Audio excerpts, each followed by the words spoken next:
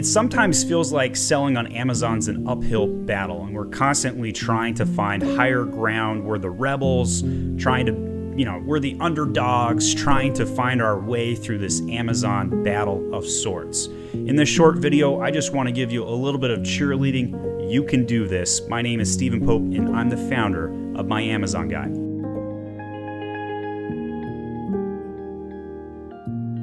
So, what gets you up in the morning when you know you're going to have to go back to that battlefield? Right? Like, are you the sort of seller who, like Russia entering World War II, you're slow to get started, but once you do, you're an absolute beast, right? And then you just completely take over the battlefield. Or are you more like the Germans who just blitzkrieged every direction and you're going to fight every single front? Sometimes that doesn't necessarily pay off, other times it does. No matter where you put your attention, you're going to have some flanks. You're also going to have to dive into a foxhole on occasion just to shelter against some of those bombs, right? We've talked about uh, various things on my channel in the last couple weeks, whether it was storage limitations, price alerts, listings being taken down. There is so many different battles in this war selling on Amazon, but you've got to get through it. You've got to get up in the morning and say, hey, I am encouraged to keep my sales moving forward. Winston Churchill is famous for a lot of his quotes and actions in his history. He said, To build may be the slow and laborious tasks of years, and to destroy could be the thoughtless act of a single day. But he also said, To improve is to change, so to be perfect is to change often.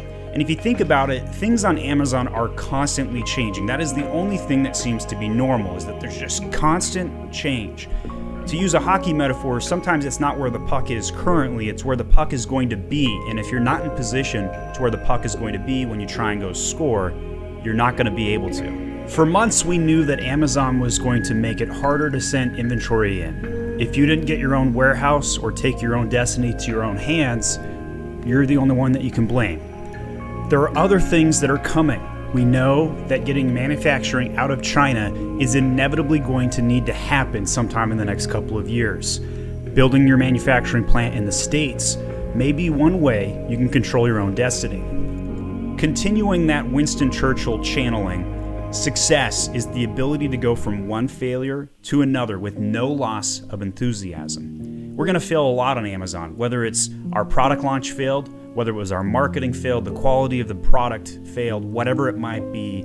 Maybe it's just Amazon putting up a barrier that we can't foresee. It happens. But you've got to get back up. You've got to do it. It's up to you to shape how you are going to act today. It's up to you to take the action that is required to fight this battle and to win the war. Treasure yourself. Know that you have the ability to get this done. So, what gets you up in the morning? Post your thoughts in the comments. Help encourage others. Share your own inspiration. My name is Stephen Pope, and I'm the founder of My Amazon Guy.